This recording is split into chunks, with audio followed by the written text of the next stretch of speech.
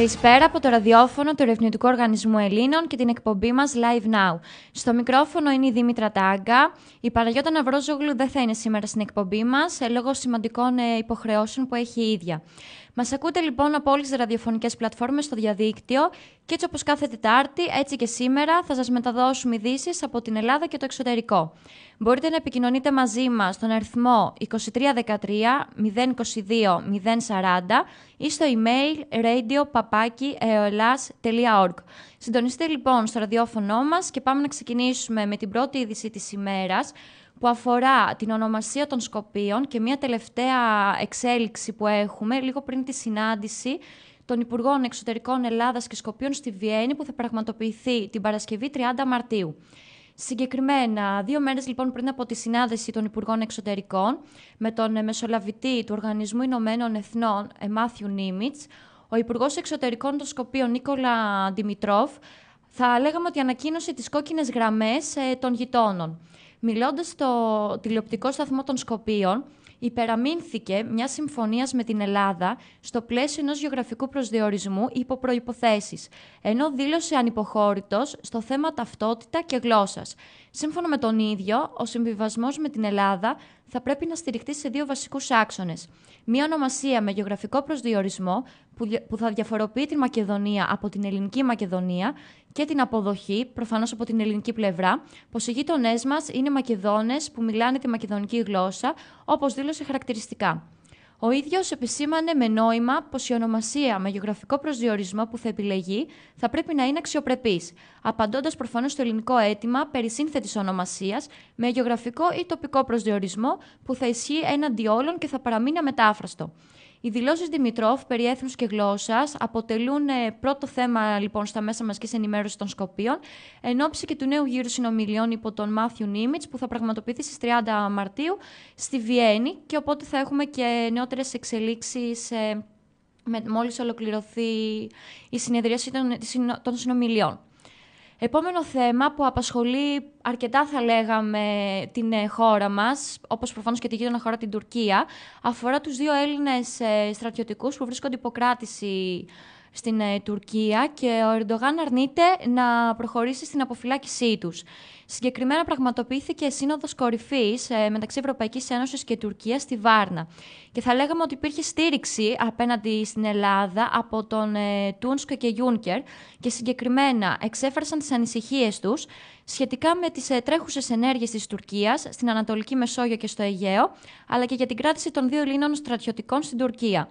Ε, εξέφρασαν στο Ρετζέπε Νταγί Περντογάν, λοιπόν, ο πρόεδρος του Ευρωπαϊκού Συμβουλίου, Ντόναλτ Τούσκ, και ο πρόεδρος της Ευρωπαϊκής Επιτροπής, Ζαν Κλοντ Γιούνκερ, στην κοινή συνέντευξη τύπου που παραχώρησαν μετά το πέρας της Συνόδου Ευρωπαϊκής Ένωσης και Τουρκίας στη Βάρνα. Ο πρόεδρος του Ευρωπαϊκού Συμβουλίου, Ντόναλτ Τούσκ, δήλωσε ότι οι, Βρυξέλλες δεν ανησυχούν μόνο για τις ενέργειες της Τουρκίας στην Ανατολική Μεσόγειο, αλλά και για την κράτηση των πολιτών της Ευρωπαϊκής Ένωσης. Η Ευρωπαϊκή Ένωση στέκεται αλληλέγγυα πίσω από τη δημοκρατία της Κύπρου σε σχέση με το δικαίωμα της Κύπρου να εκμεταλλεύεται τους φυσικούς της πόρους και φυσικά μέσα στη δική της αποκλειστική οικονομική ζώνη.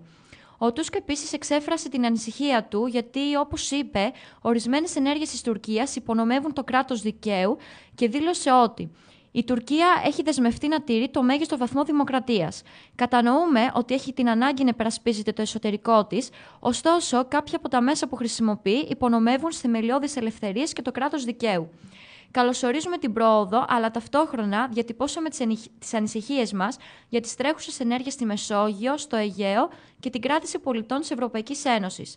Αν και η σχέση μας περνάει από δύσκολους καιρούς, σε τομείς που όντως συνεργαζόμαστε, συνεργαζόμαστε καλά και κρατάμε ανοιχτούς διάβλους επικοινωνίας.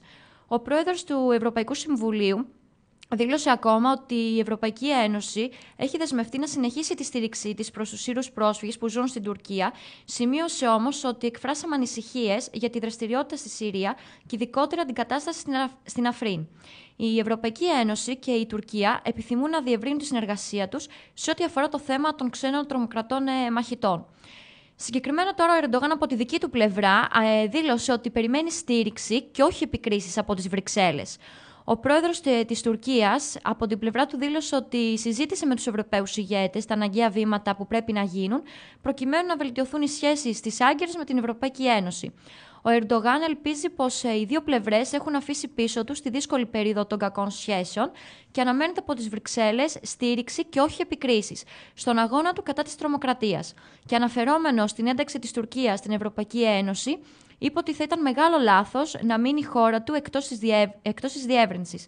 Οι Τουρκοκύπροι πρέπει να συμπεριληφθούν ισότιμα σε ζητήματα που αφορούν την Ανατολική Μεσόγειο. Ο Γιούνκερ επίσης ζητά ε, από την Τουρκία την αποφυλάκηση των Ελλήνων στρατιωτικών. Και συγκεκριμένο ο πρόεδρος της Ευρωπαϊκής Επιτροπής ζήτησε την άμεση κιόλα αποφυλάκηση των Ελλήνων στρατιωτικών από την Τουρκία, τονίζοντας ότι για να συνεχίσει την ενταξιακή της πορεία πρέπει να βελτιώσει τις σχέσεις της με Ελλάδα και Κύπρο και δήλωσε ότι όλα αυτά πρέπει να γίνουν, για όλα αυτά πρέπει να γίνουν προσπάθειες από, την, από την τουρκική πλευρά για να επιληθεί το ζήτημα των δύο Ελλήνων στρατιωτικών που βρίσκεται ακόμη σε εξέλιξη. Η Ευρωπαϊκή Ένωση εμπιστεύεται την τουρκική πλευρά ότι θα επιλύσει το ζήτημα πριν από το Ορθόδοξο Πάσχα. Κάτι βέβαια που ο Ερντογάν δεν φαίνεται να συμφωνεί και αρνείται κατηγορηματικά. Εξέφρασε επίσης και την αντίθεσή του στην απλοϊκή και επιφανειακή ιδέα της διακοπής των ενταξιακών διαπραγματεύσεων της Τουρκίας στην Ευρωπαϊκή Ένωση.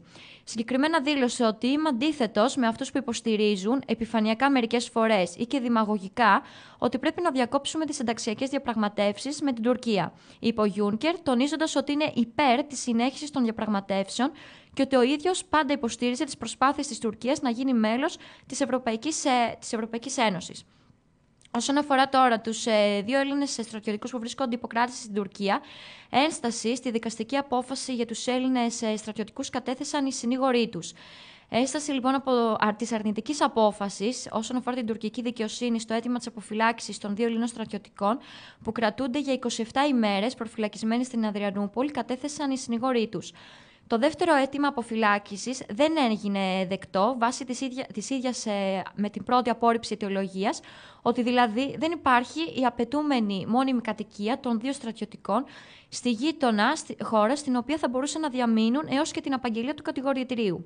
Ο πατέρας του Δημήτρη Κούκλατζη, ο κύριος Νίκος, αμέσως μετά την επίσημη ενημέρωση για τη συνέχιση, για τη συνέχιση κράτηση των δύο στρατιωτικών, ε, έκανε κάποιες δηλώσεις και είπε ότι το σημαντικό είναι να απαγγελθεί το κατηγορητήριο και να εκδικαστεί η υπόθεση και να επιστρέψουν τα παιδιά μας στην πατρίδα. Ο απροσδιόριστο χρόνος είναι που μας φορτίζει συναισθηματικά, αλλά εξακολουθούμε να πιστεύουμε στην απονομή της δικαιοσύνης, πως η πραγματικότητα δεν μπορεί να διαστρεβλωθεί. Γνωρίζουμε πως συνεχίζονται και εντατικοποιούνται οι προσπάθειες για την απελευθέρωση του Δημήτρη και του Άγγελου και πως το μόνο που συνέβη είναι ότι σύλθαν κατά λάθος στη γειτονική χώρα. Η αποδοχή του αιτήματος αποφυλάκησης θα ήταν μια θετική εξέλιξη. Αλλά ας μην γελιόμαστε. Τα παιδιά θα παρέμεναν κρατούμενοι και μακριά από την πατρίδα. Το ζητούμενο λοιπόν παραμένει. Η άμεση επιστροφή, της, η άμεση επιστροφή στις οικογένειές τους.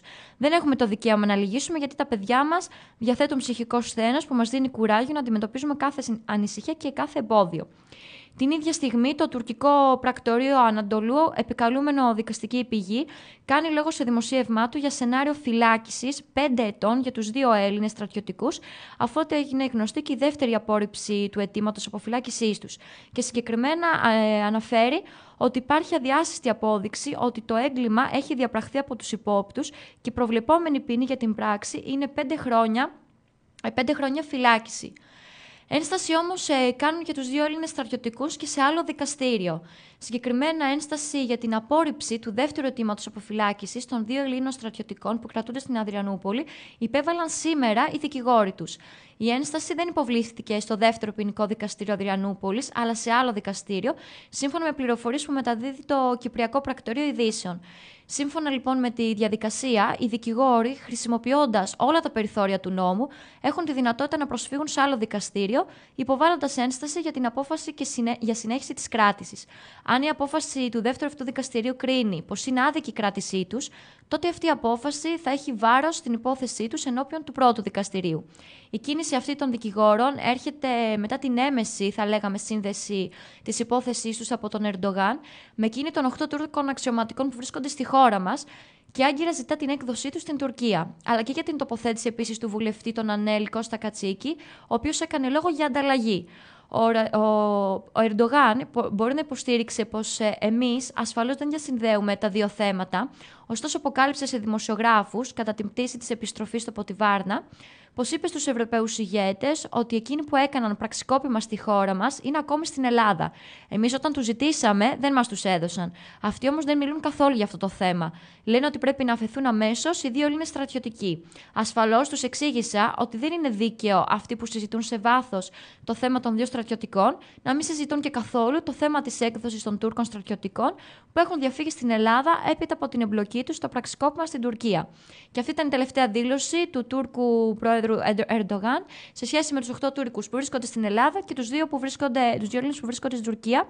Και προφανώς, όπως είναι φανερό, ε, δεν συμβιβάζεται και έθεσε ως όριο να αφαιθούν οι 8 αξιωματικοί που βρίσκονται στη χώρα μας, προκειμένου να αφαιθούν και οι δύο Έλληνες στρατιωτικοί. Σε αυτό το σημείο θα πάμε σε ένα μουσικό διάλειμμα και θα επιστρέψουμε για να συνεχίσουμε τις ειδήσεις μας.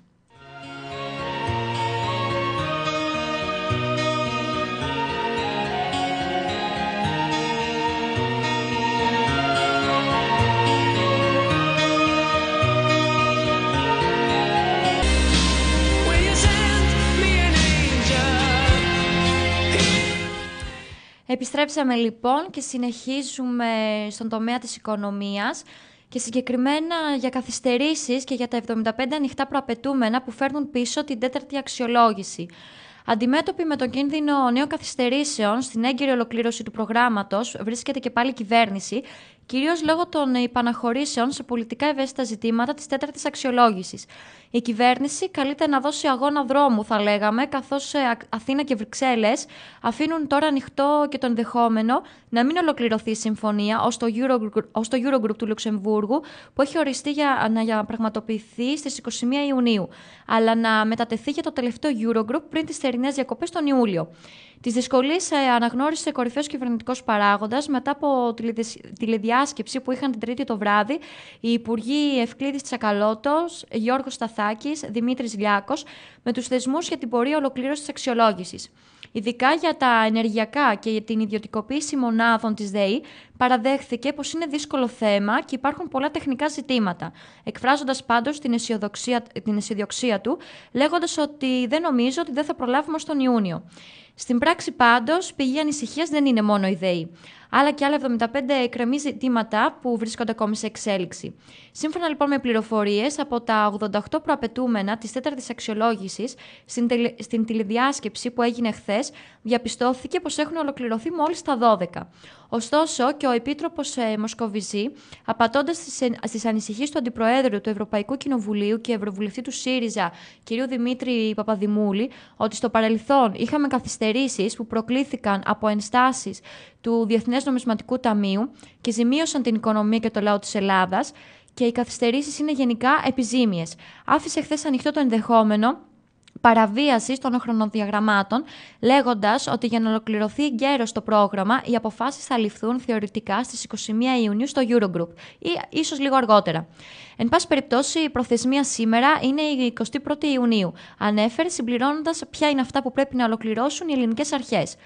Ε, νωρίτερα, πηγές του Υπουργείου Οικονομικών στέκονταν στο επίπεδο των προθέσεων και δεν απέκλειαν τυχόν καθυστερήσεις, λέγοντας πως σταθερός προσανατολισμός όλων είναι 21η Ιουνίου για συνολική συμφωνία σε τέταρτη αξιολόγηση, χρέος, μέθοδο εξόδου και ολιστικό σχέδιο ανάπτυξης. Η τρίτη λοιπόν αξιολόγηση, όπως φαίνεται, έχει κλείσει. Μετά από τρεις μήνες, αφού το ολοκληρώθηκαν διαπραγματεύσεις στο Χίλτον για την τρίτη αξιολόγηση, το Διοικητικό Συμβούλιο του Ευρωπαϊκού Μηχανισμού Σταθερότητας ενέκρινε χθες και τυπικά την εκταμείευση της υποδόμησης των 5,7 δισεκατομμυρίων ευρώ που θα πιστωθούν στο λογαριασμό του ελληνικού δημοσίου. Τα 3,3 δισεκατομμύρια ευρώ προορίζονται για την εξυπηρέτηση δανειακών αναγκών και θα επιστρέψουν στις τσέπες των δανειστών, ενώ περίπου 500 εκατομμύρια ευρώ θα κατευθυνθούν στην αποπληρωμή ληξιπρόθεσμων οφειλών του δημοσίου. Τα υπόλοιπα, δηλαδή 1,9 δισεκατομμύριο ευρώ, έχουν στόχο τη δημιουργία του αποθεματικού για την έξοδο στις αγορές. Το υπόλοιπο από τα 6,7 δισεκατομμύρια ευρώ θα εκταμιευτεί τον Απρίλιο με δύο προϋποθέσεις που θέτουν οι δανειστές. Πρώτον, την ικανοποιητική απόδοση όσον αφορά τη μείωση του αποθέματος των ληξιπρόθεσμων οφειλών του δημοσίου και δεύτερον, την επιτυχή συνέχιση της εφαρμογής του μέτρου των ηλεκτρονικών πληστηριασμών. Ανακοινώνοντας την έγκριση για την εκταμείευση της υποδόμησης, Ο αντιπρόεδρος της Ευρωπαϊκής Επιτροπής, Ντομπρόφσκης, ανέφερε πως πρόκειται για ακόμη μια θετική ένδειξη ενίσχυσης της εμπιστοσύνης στην ελληνική οικονομία.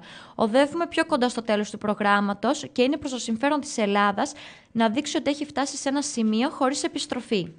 Αυτό όμως θα λέγαμε ότι έρχεται σε αντίφαση με ένα δημοσίευμα που έκανε μια γερμανική εφημερίδα και θεωρεί ε, τις αποκλήσεις μεταξύ ελληνικής κυβέρνησης και δανειστών για την, για την μεταμνημονιακή εποχή και ότι είναι πιθανές οι πρόορες εκλογές. Ε, συγκεκριμένα, χάσμα ανάμεσα στα μεταμνημονιακά σχέδια του Έλληνα Πρωθυπουργού Αλέξη Τσίπρα και στα αντίστοιχα των δανειστών διακρίνει η γερμανική οικονομική εφημερίδα. Όπως γράφει σε ανταπόκριση της ηλεκτρονικής της έκδοσης, τα σχέδια του Τσίπρα και των δανειστών της Ελλάδας συγκρούονται. Η εφημερίδα σχολιάζει ότι το τέλος επρόκειτο να γίνει θεαματικό.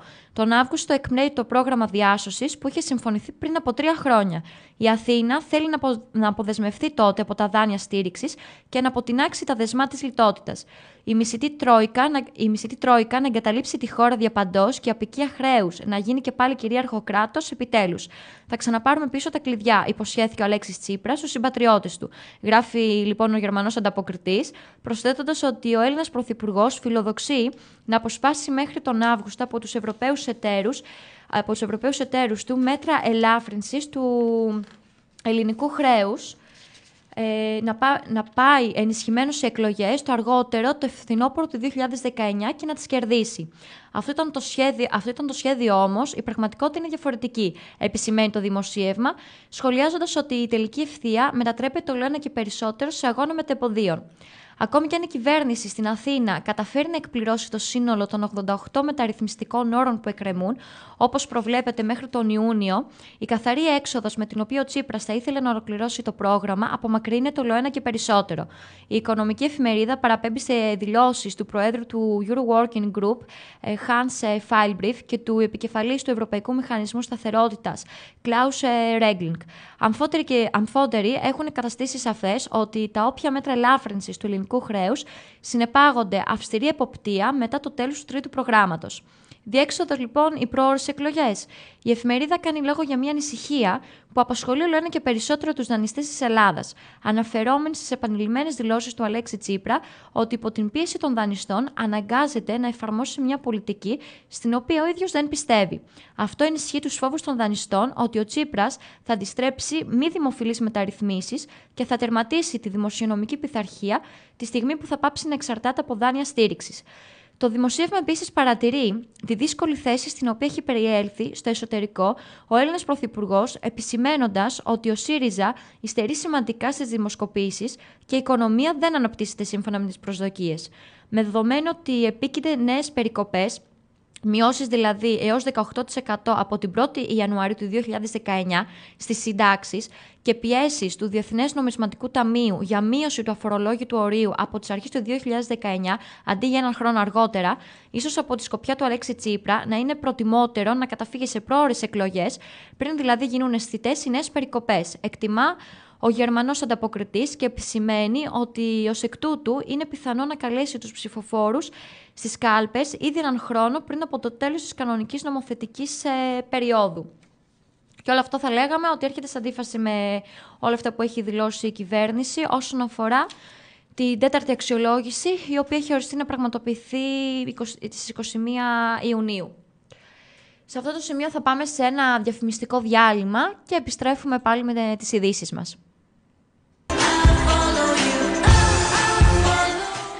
Επιστρέψαμε και πάλι και θα πάμε τώρα λίγο στον τομέα της παιδείας και συγκεκριμένα για, ένα, για μια είδηση που αφορά τις Πανελλήνιες και κυρίως τα παιδιά που θα δώσουν φέτος, καθώς έχουμε αύξηση κατά 3.000 των φετινών εισακτέων σε ανώτατα εκπαιδευτικά ιδρύματα και τεχνολογικά εκπαιδευτικά ιδρύματα, που προανήγγειλε ο Γαβρόγλου. Περισσότεροι από 3.000 λοιπόν θα είναι φέτος σε σχέση με πέρυσι οι επιπλέον εισακτέοι φοιτητές και φοιτήτριες στην τριτοβάθμια εκπαίδευση, όπως γνωστοποίησε ο Υπουργός Παιδείας, Έρευνας και Θρησκευμάτων Κώστας Γαβρόγλου σε δηλώσεις του στο περιθώριο του Περιφερειακού Αναπτυξιακού Συνεδρίου Κεντρικής Μακεδονίας. Συγκεκριμένα δήλωσε Νομίζω ότι μπορούμε να πούμε με ασφάλεια ότι θα είναι ένας αριθμός πάνω από 3.000 πρόσθετους φοιτητές και φοιτήτριες. Κάναμε μια πολύ συστηματική μελέτη για τις δυνατότητες των Ιδρυμάτων και δίνουμε φέτος περισσότερες θέσεις. Υπάρχει μεγαλύτερη αύξηση στη χρηματοδότηση και νομίζουμε ότι έχουν τη δυνατότητα τα, τα Ιδρύματα να απορροφήσουν αυτόν τον κόσμο και άρα θα μειωθεί και το άγχος των φοιτητών της Τρίτης Λυκείου που είναι στην τελική ευθεία. Ανέφερε λοιπόν ο Υπουργός, ο Υπουργός ερωτηθεί σχετικά με τον με τους εισακτέους. Όσον αφορά τώρα τον, ε, ε, με το, που του έκαναν ερώτηση σχετικά με τον σχεδιασμό του Υπουργείου Παιδείας για το μάθημα των θρησκευτικών, στον απόϊχο της απόφασης του Συμβουλίου της Επικρατείας, που κατά πλειοψηφία έκρινε πολλαπλώς αντισυνταγματικές αλλαγές που έγιναν επί Υπουργείας, επί Νίκου Φίλη στη διδασκαλία του μαθήματος, ο κ. Γαβρόγλου διευκρίνησε δεν προτιθέμεθα να κάνουμε πίσω, διότι δεν αφορά αυτό που γίνεται τώρα και αυτό που θα γίνει του χρόνου. Ήδη εδώ και πάρα πολλούς μήνες έχει αρχίσει μια συζήτηση με την Εκκλησία. Μια συζήτηση με επιστημονικούς φορείς, μια συζήτηση με διακεκριμένους επιστήμονες για ένα πράγμα το οποίο είναι καθαρά επιστημονικό. Εμείς, εξήγησε, προχωράμε στην αναμόρφωση αυτών των βιβλίων και μάλιστα προχωράμε και με πολύ μεγάλη συνένεση των ανθρώπων που γνωρίζουν πολύ βαθιά αυτά τα ζητήματα, όπως επίσης και της Εκκλησίας. Όταν επίσης ρωτήθηκε να σχολιάσει το περιεχόμενο ανοιχτής επιστολής διαμαρτυρίας που υπογράφουν 93 καθηγητές της Νομικής Αθηνών για την κατάσταση βαριάς παρανομίας, που όπως αναφέρουν επικρατεί στο κτίριο και τον περιβάλλοντα χώρο της σχολής, δίπλα στο πνευματικό κέντρο του Δήμου Αθηναίων, ο Υπουργός σημείωσε. Πρέπει κανείς να είναι πολύ ασόβαρος για να κατηγορεί το Υπουργείο Παιδείας ή εμένα για ανοχή σε τέτοια φαινόμενα. Είναι δυνατόν να έχουμε ανοχή; Το ερώτημα είναι ποιες είναι οι λύσεις; Με αφορμή λοιπόν και την παράθεση που είχε νωρίτερα στο πλαίσιο της θεματικής ενότητας για την παιδεία με τον πρίτανη του Αριστοτελείου Πανεπιστημίου Θεσσαλονίκης Περικλή Μίτκα σχετικά με το πρόβλημα της παραβατικότητας και των ε, ναρκωτικών εντός του Πανεπιστημίου και το ρόλο της αστυνομίας στην αντιμετώπιση του, επισήμανε. Είναι ένα εξαιρετικά δύσκολο πρόβλημα και δεν είναι ένα πρόβλημα που μπορεί να λυθεί με αστυνομοκρατία και είναι ένα πρόβλημα που έχει και αντανάκλαση δυστυχώς και στην υπόλοιπη κοινωνία δεν είναι τόσο το θέμα της ασφάλειας, όσο τα φαινόμενα παραβατικότητας και αυτό που εμείς λέμε είναι ότι τα φαινόμενα παραβατικότητας έχουν μια διάσταση έντονα κοινωνική και πρέπει να καταλάβουμε γιατί γίνονται, ώστε να δούμε με ποιο τρόπο θα τα αποτρέψουμε. Γι' αυτό το λόγο έχουμε συγκροτήσει μια ομάδα, μια ομάδα εργασίας, επικεφαλής της οποίας είναι ο καθηγητής νομικής και πρώην Υπουργός Δικαιοσύνης Νίκος Παρασκευόπουλος, η ομάδα επίσης έχει και εκπροσώπους της αστυνομίας, αλλά και εκπροσώπους που επιτελούν κοινωνικό λειτουργήμα και εργασία, ψυχολόγους και προσπαθούμε να αναλύσουμε το πρόβλημα και να ζητήσουμε προτάσεις συγκεκριμένες από τα ιδρύματα.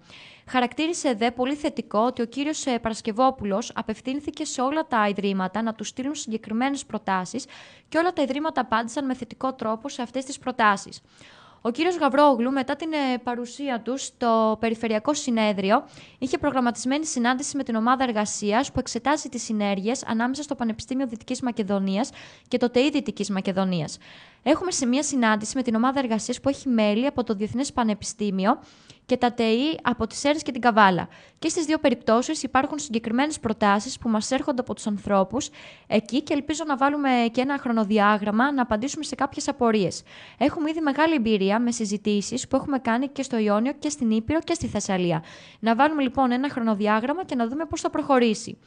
Όταν επίσης ρωτήθηκε σχετικά με την αντίδραση του Αριστοτελείου στο ότι δεν έχει προσκληθεί στη συζήτηση που αφορά τις εν λόγω συνέργειες, σχολίασε. Υπάρχουν διαφορετικές προσεγγίσεις. Πολλές φορές το Υπουργείο Παιδείας αλλάζει τη στάση του ακούγοντας αυτά και πολλές φορές αλλάζουν τη στάση τους και τα ιδρύματα. Με, επικεφαλή, με επικεφαλή στο Αριστοτέλειο Πανεπιστήμιο, η Θεσσαλονίκη είναι σε εξαιρετικά προνομιακή κατάσταση και, και ως προς τα ερευνητικά της προγράμματα, ως προς τα προπτυχιακά και ως προς τις γενικότερες διεθνείς προβολές της. Είναι ένα πανεπιστήμιο που αυτή τη στιγμή είναι το μεγαλύτερο της χώρας. Εμείς προσπαθούμε να εξασφαλίσουμε συνέργειες ανάμεσα σε μικρότερα ιδρύματα και να δούμε τη δυναμική που θα δημιουργηθεί και εδώ είμαστε. Ας ολοκληρώσουμε αυτόν τον κύκλο και μετά βλέπουμε. Και αυτό το μετά είναι κυρίως που μας ε, περιορίζει γιατί όπως φαίνεται είναι αβέβαιο. Σε αυτό το σημείο θα συνδεθούμε με την ε, Θράκη και τη δημοσιογράφο Μαρίνα Κονδύλη για να μας μεταδώσει τα νέα της ε, Θράκης. Καλησπέρα κυρία Κονδύλη. Καλησπέρα σας. Καλησπέρα. Είχαμε καιρό να τα πούμε. Ακριβώς. Και στο μεταξύ μαζεύτηκαν αρκετές ειδισούλε. Θα ξεκινήσουμε με τις ε, πιο σημαντικές, αυτές τις, του τελευταίου 24ωρου ουσιαστικά. Θα ξεκινήσουμε λοιπόν με την αυτοκτονία σοκ μια 20χρονη φοιτήτρια εδώ στην Αλεξανδρούπολη. Η κοπέλα η οποία ε, προερχόταν από την Αθήνα ήταν φοιτήτρια στο πρώτο έτος της ιατρικής του Δημοκρατίου Πανεπιστημίου Θράκης. Ε, βρέθηκε απαγχωνισμένη στο σπίτι της, το οποίο βρισκόταν μάλιστα και απέναντι από το αστυνομικό τμήμα Αλεξανδρούπολη. Ε, πληροφορίες αναφέρουν ότι έχει αφήσει σημείωμα ε, στο οποίο δήλωνε την απογοήτευσή της από τη ζωή και ότι είχε πολύ έντονη ψυχολογική πίεση. Ε, αμέσως οι γονείς ε, της κοπέλας από την Αθήνα ήρθαν στην Αλεξανδρούπολη. Ε, ο ιατροδικαστής Παύλος Παυλίδης ε, ανέλαβε να κάνει την νεκροψία, νεκροτομή. Έχει αποκλειστεί το ενδεχόμενο της εγκληματικής ενέργειας. Βέβαια το τραγικό της υπόθεσης είναι ότι ο κύριος Παυλίδης ήταν ένας από τους καθηγητές της ιατρικής, ο οποίος δίδασκε στους πρωτοετής φοιτητές Ω εκ τούτου γνώριζε και την ε, κοπέλα. Να πούμε ότι η φοιτήτρια εντοπίστηκε ε, από τους γονείς της, όπως προείπαμε, ε, έσπασαν την πόρτα με τη βοήθεια κλειδαρά ε, και εκεί ουσιαστικά βρέθηκαν αντιμέτωποι με ένα αποτρόπαιο θέαμα. Όλη η κοινωνία της Αλεξανδρούπολης είναι σοκαρισμένη με αυτή την είδηση. Πέρα από αυτά όμως, έχουμε και τα νεότερα από τον ποταμό Εύρο, ήδη έχουν πλημμυρίσει 45.000 τρέματα σε όλο το νομό. Ε, το, στο, τα σταθμίμετρα των ποταμών βρίσκονται στο κόκκινο, ενώ είναι ισχυρή και η πίεση από τις γειτονικές χώρες. Άλλωστε, χθες είχαμε και ρηματική διακοίνωση από τη Βουλγαρία, ε, σύμφωνα με την οποία έλεγαν, πράγμα που έγινε κιόλας, ότι άνοιξαν το φράγμα του Ιβαήλοβγκραντ και έτσι στέλνουν 730 κυβικά μέτρα νερό το δευτερόλεπτο. Μιλάμε για πολύ μεγάλη ποσότητα νερού. Ε, φυσικά το συντηρητικό όργανο πολιτικής προστασίας της Περιφερειακής Ενότητας Εύρου βρίσκεται σε γρήγορση με συνεχείς ε, συνεδριάσεις προκειμένου να εκτιμήσουν άμεσα την κατάσταση. Γίνεται έλεγχος των αναχωμάτων από τις τεχνικές υπηρεσίες. Ε, πληροφορίες λένε ότι τα Λάβαρα, η περιοχή, η αγροτική περιοχή των Λαβάρων μάλλον θα πλημμυρίσει μέχρι το βράδυ γιατί κατεβαίνει πολύ νερό να δούμε τι θα γίνει και με τον ποταμό Εύρο, που δυστυχώς και φέτος δεν τη γλίτωσε ο νομός μας μετά τις έντονες προχωπτώσει. Ε, θα έχουμε και τέτοια. Σε συνάρτηση όμως των ε, καιρικών φαινομένων και των πλημμυρών που επικρατούν στο νομό, υπάρχει και μία άλλη είδηση. Ε, από χτες το βράδυ, λοιπόν, το βράδυ της Τρίτης, υπάρχει μεγάλη κινητοποίηση των αρχών έπειτα από κλήσει που έκαναν στον Ευρωπαϊκό Αριθμό Έκτακτης Ανάγκης 112, μία ομάδα περίπου 15 παράτυπων μεταναστών δήλωσαν ότι έχουν εγκλωβιστεί στον ποταμό Εύρο. Άμεσα ξεκίνησε, ε, μια επιχείρηση από την αστυνομία και την πυροσβεστική υπηρεσία. Συμμετείχαν μάλιστα άντρες και οχήματα της ΕΜΑΚ. Οι έρευνες ξεκίνησαν περίπου στις 11 το βράδυ, όμως μέχρι και τη στιγμή που μιλάμε δεν έχουμε νεότερα. Υπάρχουν δύο σενάρια ή πρόλαβαν και έφυγαν οι μετανάστες, ή το κακό σενάριο παρασύρθηκαν από τα νερά και πιθανότητα έχουν πνιγεί. Να πούμε ότι η επιχείρηση στήθηκε στο ύψος του οικισμού Πραγγή στο Διδημότυχο και ότι, όπως σας είπα, δεν έχουμε νεότερα, ελπίζουμε να μην έχουμε δυσάρεστες εξελίξεις. Να πούμε και ακόμα μία είδηση που αφορά πάλι παράτυπους μετανάστες, καθώς στην περιοχή Πόταμος Αλεξανδρούπολη, δίπλα στην εκκλησία, βρέθηκαν μέσα σε ε, έναν οικίσκο, σε ένα σπίτι ουσιαστικά, ε, διαμελισμένα, κατακρεουργημένα πτώματα δύο παράτυπων μεταναστών. Ε, το, ε, η όλη εικόνα ήταν πολύ φρικιαστική με αίματα να καλύπτουν παντού τους ε, τείχους. Ε, τα, τα, τα πτώματα, η σωρή ήταν εκεί τουλάχιστον για ένα μήνα, δηλαδή ήταν ήδη σε κατάσταση σύψης και από την ε, νεκροψία, νεκροτομή που έγινε και από τις έρευνες, διαπιστώθηκε ότι μάλλον πρόκειται για εγκληματική ενέργεια αφού έχουν αφαιρεθεί όλα τα προσωπικά αντικείμενα των ε, δύο αυτών ατόμων, οπότε δεν μπορεί να γίνει και οποιαδήποτε ταυτοποίηση. Αυτά λοιπόν με το αστυνομικό δελτίο και γενικώς με τις εξελίξεις που υπάρχουν εδώ στην περιοχή μας.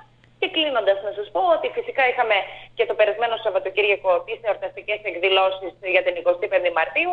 Στην Οριστιάδα είχαμε την ε, επίσκεψη του επικεφαλής της αντιπολίτευσης και Προέδρου της Νέας Δημοκρατίας Κυριάκου Μητσοτάκη, ο οποίος είχε και συνάντηση με τους γονείς των ε, δύο Ελλήνων στρατιωτικών.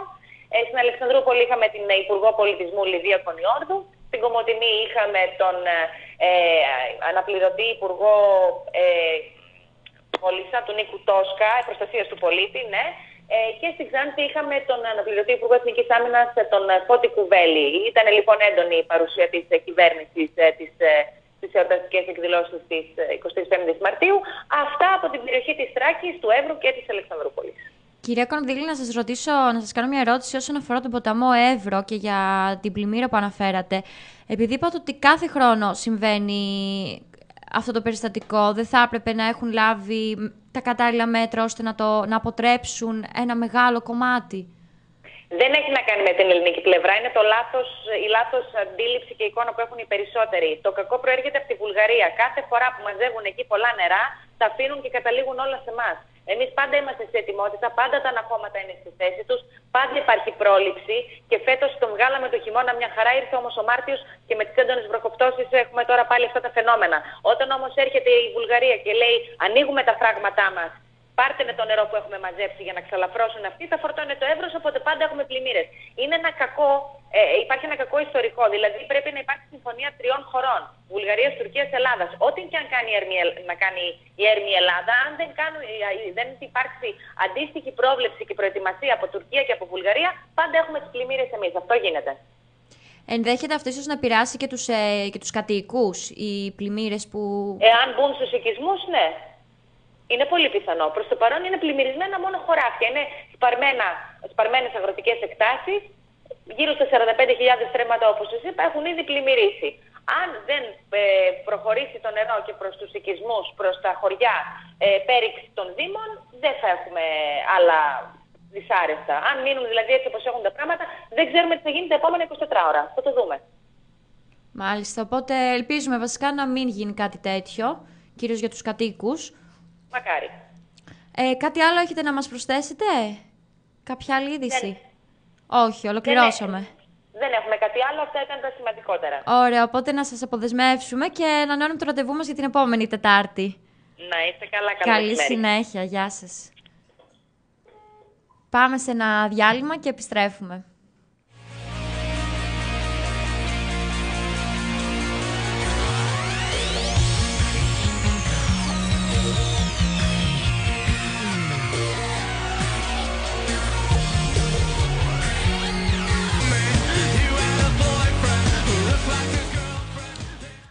Δύο ακόμη ειδήσεις εσωτερικού, έκτακτες θα λέγαμε, όσον αφορά τον οικονομικό τομέα και συγκεκριμένα έκτακτη οικονομική ενίσχυση στους άνεργους ναυτικούς, ε, ανέφερε το Υπουργείο Ναυτιλίας και αποφάσισε τη χορήγηση επιδόματος Πάσχα και Χριστουγέννου για το 2018.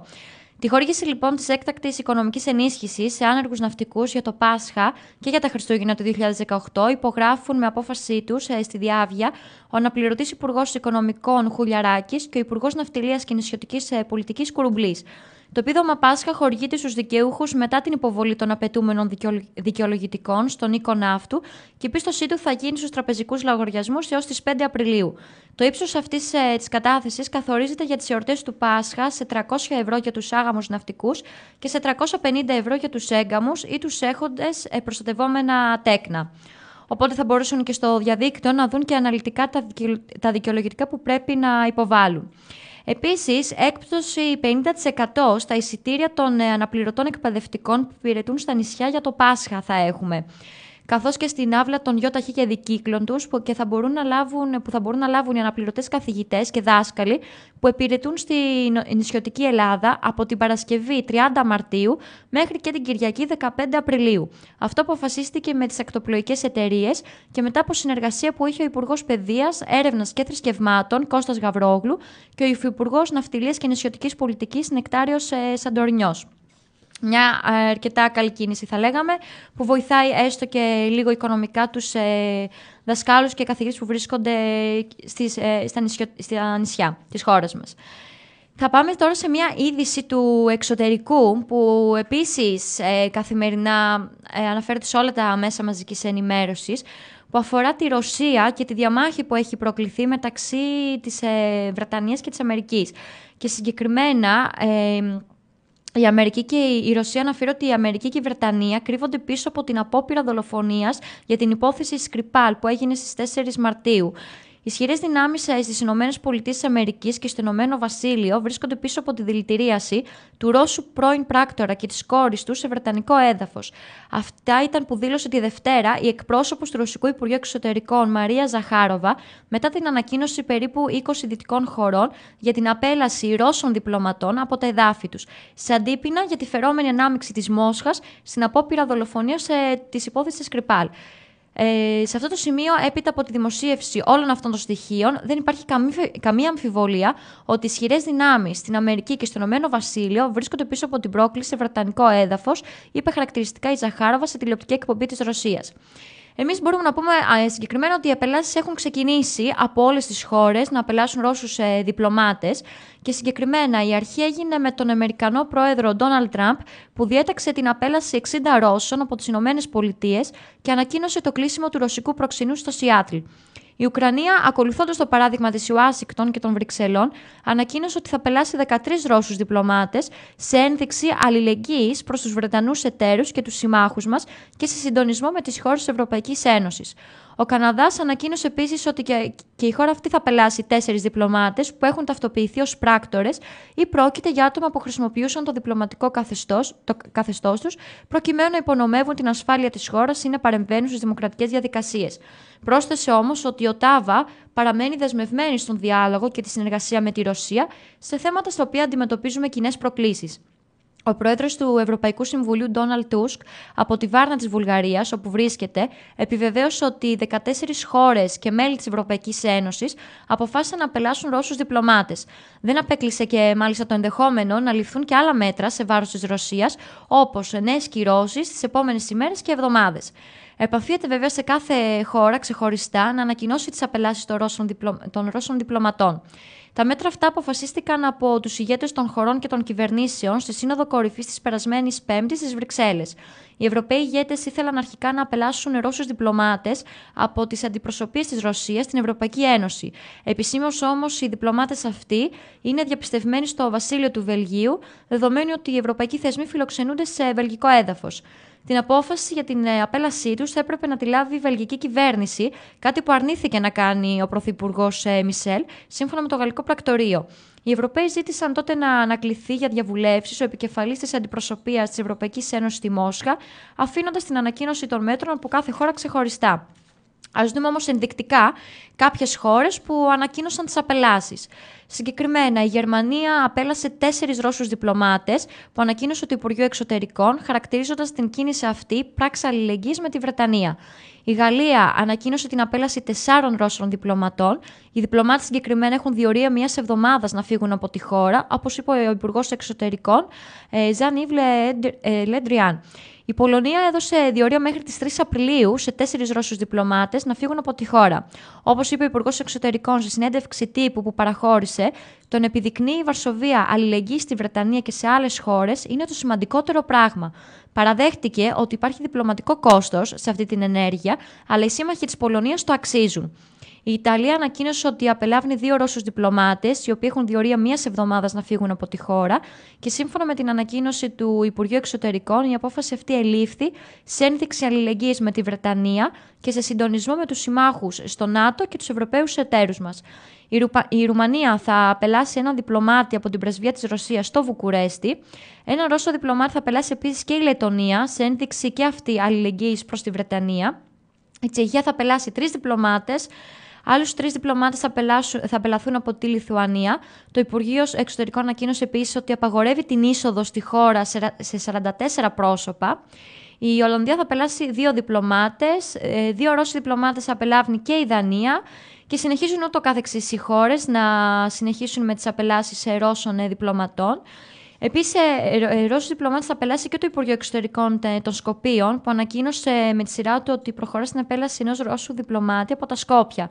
Σε σχετική ανακοίνωσή του, το Υπουργείο Εξωτερικών αναφέρει ότι η απόφαση αυτή ελήφθη μετά από διαβουλεύσεις με τους συμμάχους και τέρου της χώρας από την Ευρωπαϊκή Ένωση και το ΝΑΤΟ και ως ένδειξη αλληλεγγύης στη Μεγάλη Βρετανία. Α δούμε όμως και ποιες είναι οι πρώτες αντιδράσεις της Ρωσίας. Συγκεκριμένα, η πρώτη αντίδραση ήρθε από τον Ρώσο πρεσβευτή στην Ουάσιγκτον, Ανατόλη Αντόνοφ, ο οποίος είπε πως η απόφαση της Αμερικής είναι αδικαιολόγητη και καταστρέφει το λίγο που απομένει από τις σχέσεις μεταξύ των δύο χωρών. Σχολιάζοντας σε πιθανά ρωσικά αντίμετρα, ο Αντόνοφ είπε πως η απάντηση της Μόσχας θα είναι ανάλογη και πως οι Ηνωμένες Πολιτείες το μόνο που καταλαβαίνουν είναι η ισχύ. Η απόφαση αυτή δεν θα περάσει απαρατήρητη και η Μόσχα θα απαντήσει στις μη φιλικές αυτές ενέργειες, ανέφερε με τη σειρά του το Ρωσικό Υπουργείο Εξωτερικών. Σε δηλώσεις του, ο εκπρόσωπος τύπου του Κρεμλίνου, Ντίμτρι Πεσκόφ, είπε στους δημοσιογράφους ότι ο Ρώσος πρόεδρος Βλαντιμίρ Πούτιν θα λάβει την τελική απόφαση για το πώς θα απαντήσει η Ρωσία στις απελάσεις, οι οποίες διατάχθηκαν έπειτα από την μυστηριώδη επίθεση κατά του Σεργέη Στρίπαλ και της κόρης του στη Βρετανία. Η Βρετανίδα τώρα Πρωθυπουργός χαρακτήρισε τη διπλωματική απάντηση στην δηλητηρίαση Σκρυπάλ τη μαζικότερη συλλογική απέλαση Ρώσων διπλωματών στην ιστορία, εκφράζοντας ταυτόχρονα και την ευχαρίστησή της για τις εξελίξεις. Στο σύνολο, τουλάχιστον 100 Ρώσοι έχουν απελαθεί από 18 χώρες. Η ίδια η Βρετανία έχει απελάσει 23 διπλωμάτες. Ω μια κυρίαρχη ευρωπαϊκή δημοκρατία, το Ηνωμένο Βασίλειο θα ενώσει τις δυνάμεις του με την Ευρωπαϊκή Ένωση και το ΝΑΤΟ για να αντιμετωπίσει αυτές τις απειλές. Δήλωσε, σημειώνοντας ότι αν η Ρωσία στόχευε να διαιρέσει τις χώρες της Δύσης, απέτυχε παταγωδός. Εκπρόσωπος της Πρωθυπουργού δήλωσε στους δημοσιογράφους ότι οι Υπουργοί Εξωτερικών της Ευρωπαϊκής Ένωσης θα εξετάσουν έως τον Ιούνιο τη λήψη ενδεχόμενων περαιτέρω μέτρων εις βάρος της Ρωσίας. Οι ΙΠΑ και οι σύμμαχοί τους έχουν απελάσει μέχρι στιγμής συνολικά 151 Ρώσους διπλωμάτες ως αντίπεινα για τη δηλητηρίαση του Ρώσου πρώην κατασκόπου Σεργέη Σκρυπάλ στη Βρετανία, δήλωσε εκπρόσωπος του State Department Heath Nauert στη διάρκεια καθιερωμένης συνέντευξης τύπου. Αν η Ρωσία επιθυμεί να βελτιώσει τις σχέσεις της με την Αμερική, θα πρέπει πρώτα να αναγνωρίσει την ευθύνη της για αυτήν την ευθύνη και να σταματήσει την απερίσκεπτη επιθετική της ε, συμπεριφορά.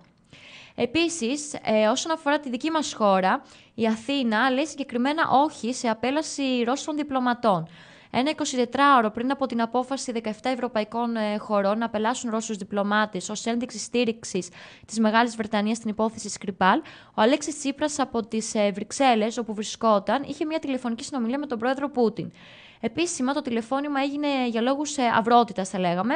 Ο Έλληνας Πρωθυπουργός συνεχάρει τον Ρώσο Πρόεδρο για την, εκλογή, για την εκλογική του επιτυχία. Επί της ουσίας, το τηλεφώνημα έγινε για τα ελληνοτουρκικά και για τους δύο Έλληνες στρατιωτικούς, και όχι τόσο για τους ε, Ρώσους διπλωμάτες. Στην πορεία όμως του τηλεφωνήματος, είναι προφανές ότι συζητήθηκε και η στάση της Δύσης έναντι της υπόθεσης Σκρυπάλ και διαφαινόμενη μαζική απέλαση Ρώσων διπλωματών από τις δυτικές πρωτεύουσες.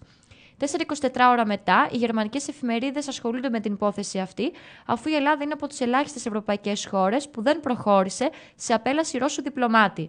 Συνολικά, όπως είπαμε και πριν, 17 είναι τα μέλη της Ευρωπαϊκής Ένωσης που αποφάσισαν να απελάσουν Ρώσους, σε σύνολο 24 δυτικών χωρών. Ε, οπότε η Ελλάδα ε, δεν συμφωνεί και δεν ε, επιχειρεί να απελάσει. Επιχειρώντας να εξηγήσει τώρα τη συγκεκριμένη επιλογή, γράφει ότι ο λογαριασμός σχετικά είναι απλός και όποιος απελάσει Ρώσους διπλωμάτες θα πρέπει να είναι προετοιμασμένος ότι θα απελαθούν τουλάχιστον εισάριθμοι δικοί του διπλωμάτες από τη Ρωσία. Η εφημερίδα, αναφέρεται, η εφημερίδα της Ρωσίας αναφέρεται συγκεκριμένα στο παράδειγμα του Λουξεμβούργου που διατηρεί μόλις τρεις διπλωμάτες στη Ρωσία και σημειώνει ότι η Αυστρία και η Ελλάδα παρακολουθούν με δυσαρέσκεια την πολιτική της Ευρωπαϊκής Ένωσης απέναντι στη Ρωσία. Και όπως φαίνεται, οι απελάσεις θα συνεχιστούν και από άλλες χώρες και θα έχουμε και νεότερα δημοσιεύματα και σίγουρα νεότερο αριθμό των νέων Ρώσων διπλωματών που θα πραγματοποιηθεί η απέλασή τους. Σε αυτό το σημείο, νομίζω, θεωρώ πως η εκπομπή μας έφτασε στο τέλος της. Θα ανανεώσουμε το ραντεβού μας για την επόμενη Τετάρτη, την ίδια ώρα, 3 με 4, στο ραδιόφωνο του Ερευνητικού Οργανισμού Ελλήνων και την εκπομπή μας Live Now με την ε, Δήμητρα Τάκα και την Παναγιώτα Αναβρόζογλου. Από εμάς, καλή συνέχεια.